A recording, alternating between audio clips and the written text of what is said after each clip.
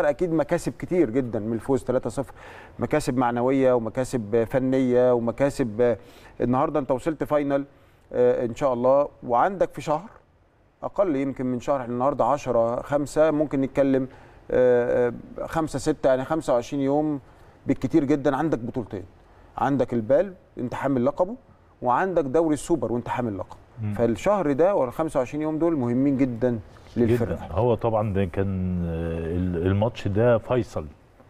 هو آه، هو طبعا آه، كان ال ال ال النظام best of five بس النهارده كان ماتش كاس. ماتش كاس ليه؟ لأنك أنت بتحمي نفسك. النهارده عمرو الجندي جاله sprain.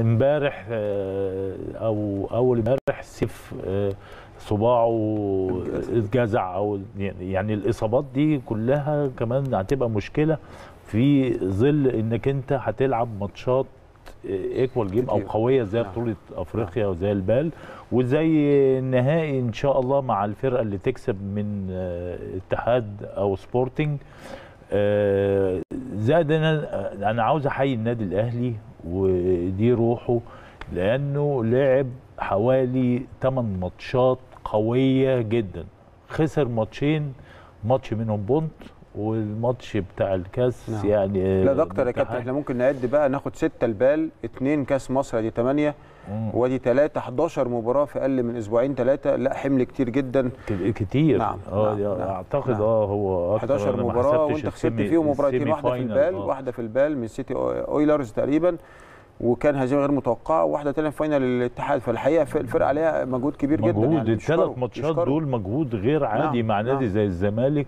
النهارده وفرقة. محترمة ومعاها لعيبة كويسة مع آل عمرو الجندي إن شاء الله نتمنى ف- ليهم الفوز يا كابتن فإن باذن شاء الله بإذن الله البال آه، والف- والفترة الجاية يكون إن شاء الله آه. فترة الحصاد لفريق كره السله كابتن لازم طاهر رجب نحييهم طبعاً. وك team كمان يعني كله. عمل اللي عليه إن شاء الله